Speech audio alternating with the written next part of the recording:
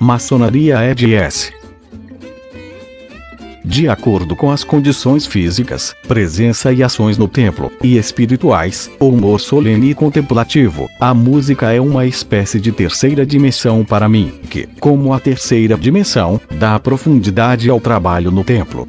O que a neve é para o inverno, a cor para uma foto ou a manteiga para um pão Nutella, é música para um trabalho no templo. Isso poderia ser feito sem ela, mas é somente através dessa adição especial que você ganha uma faceta adicional, um tempero e um nível adicional de impressões.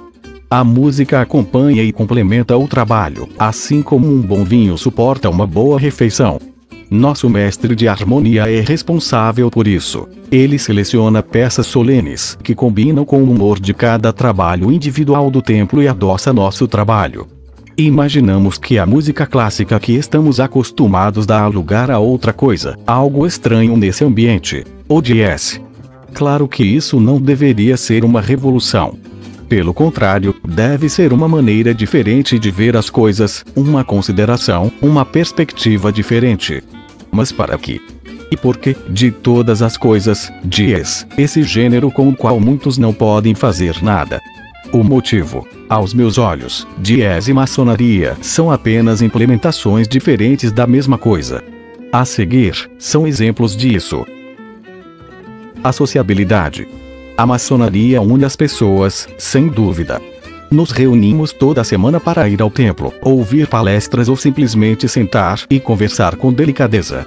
Somos irmãos, somos amigos, trabalhamos de mãos dadas em um grande trabalho e gostamos.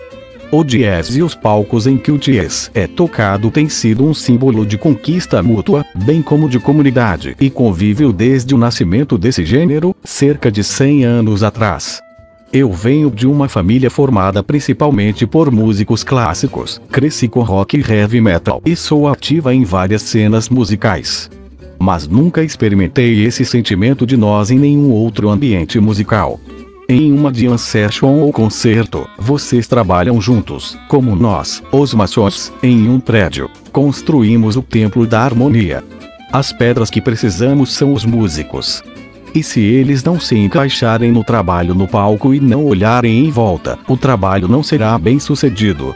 No jazz, não há lugar para lobos solitários no palco, para pessoas que apenas teimosamente olham suas notas, apenas ouvem a si mesmas, ou apenas tocam por si mesmas. É importante, e corretamente pregado por todo palestrante como uma roda de oração, não escutar a si mesmo, mas ao todo, consigo mesmo como parte dela como uma pedra cúbica em uma grande estrutura, por assim dizer. No palco, as pessoas riem, comemoram e se divertem juntas, o que não diminui a seriedade necessária. Na maioria dos casos, é uma celebração do calor e da expressão de sentimentos. O convívio e a união são onipresentes. Abertura e comunicação. Uma parte essencial de nossa atividade de alojamento são as palestras, nas quais um irmão compartilha seu conhecimento conosco e o repassa para nós. Depois é discutido e os irmãos trocam informações sobre os novos aprendizados e as novas abordagens. Então todos vão para casa com algo novo, algo em que pensar, a busca por luz, por conhecimento, a busca por novos conhecimentos e a abertura a coisas novas são coisas, pelo menos no meu entendimento, que devem distinguir o maçom. Então o jazz é uma construção de várias influências. As raízes originais eram blues, canções de trabalho dos escravos afro-americanos, ragtime e também música clássica. Dificilmente qualquer gênero contém tantas influências externas, seja no estilo cultural ou musical. O pianista de jazz de formação clássica Dave Brubeck, por exemplo, se inspirou bastante na música clássica. Outro exemplo seria Bill Evans, ou o falecido Jacques Loussier, que ficou famoso pelo jazz de peças de riacho. Muitos músicos de jazz foram influenciados pela música tradicional africana e a incluíram em suas músicas. Sun Ra incorporou a cultura egípcia em sua música e em toda a sua identidade, na música espanhola de flamenco ao de miola e assim por diante. O jazz latino, como a bossa nova, é um subgênero que mistura jazz com a música latino-americana tradicional. As bandas de fusão dos anos 70 e 80, como os Breaker Brothers ou até Report, jazz tradicional misto com rock contemporâneo. Músicos de jazz modernos, como Robert Glasper ou Narky Papin, se inspiram no hip hop ou no soul, entre outras coisas. Em resumo, o jazz não seria tão interessante e tão animado sem essa abertura ao mundo, esse acolhimento de coisas novas e a aceitação de outras visões, mas sem esquecer o seu próprio caráter e origem. A comunicação também é um importante dispositivo estilístico seja entre dois ou mais músicos na chamada chamada e resposta, na qual os instrumentos estão conversando entre si usando frases e motivos musicais, musicalmente são respondidos por outro instrumento, bem como na comunicação entre o solista e uma entidade desconhecida. Por exemplo, quando um cantor de uma música se dirige a seu amante, você pode ouvir uma certa forma de endereço em certas peças. O músico toca seu instrumento para uma terceira pessoa quase desconhecida e, como ouvinte, você pode ouvir essa conversa quase íntima. Se você ouvir o espiritual de Coltrane na plataforma de internet do YouTube, encontrará o seguinte comentário de um usuário no vidro: O som de Coltrane falando com Deus. Acho esta frase muito adequada. Alguém ouve alguém usando uma ferramenta para se envolver cada vez mais em um monólogo que pode dizer o que o ouvinte interpreta e cujo verdadeiro significado provavelmente é conhecido apenas por John Coltrane. Ou momento pessoal que me lembro por muito tempo. Meu tio, que estava na chuva na cova aberta no funeral do meu avô, ou seja, seu pai, tocando saxofone, uma improvisação na cova e uma última vez falou com o pai na língua que ambos falavam tão bem. Só ele sabe exatamente o que disse, mas todos os presentes ouviram e entenderam. A comunicação é uma ferramenta humana básica e é particularmente importante para nós, maçons. Só podemos crescer juntos, compartilhando e conversando progressividade.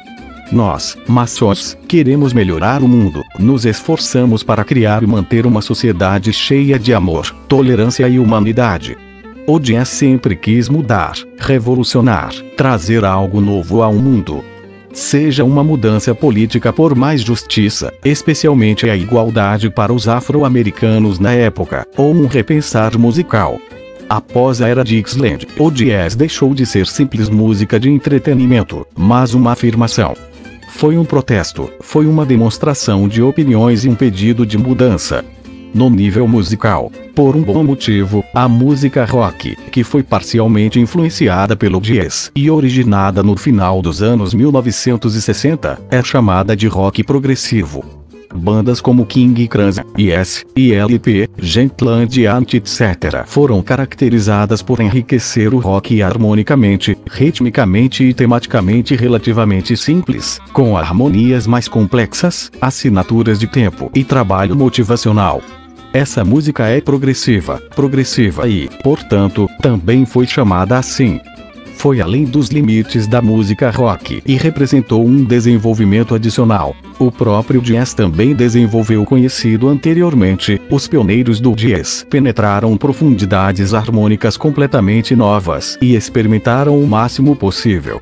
Este ponto pode ser resumido da seguinte forma: tanto a maçonaria quanto o jazz se originam do desejo de tomar as coisas em mãos e trazer mudanças. Liberdade. O nome da nossa Irmandade já se refere a ela.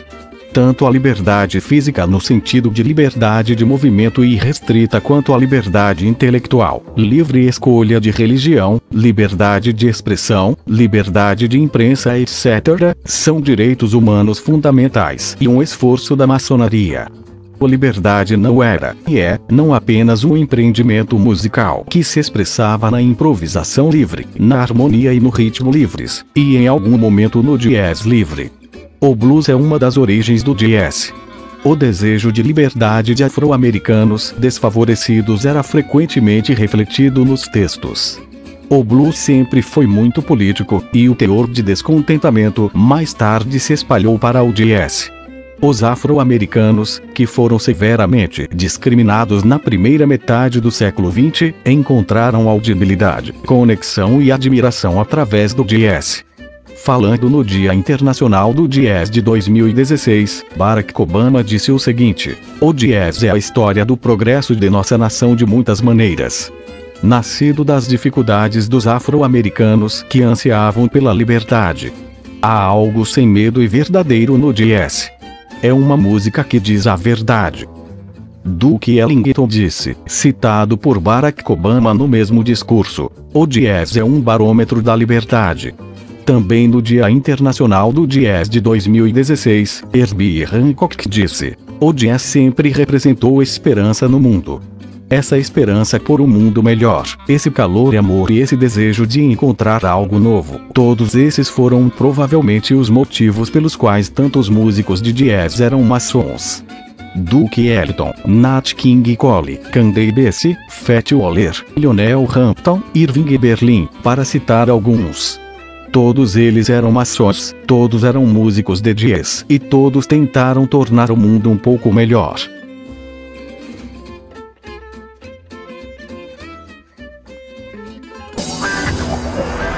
Inscreva-se no nosso canal e acione o sininho para receber novos vídeos.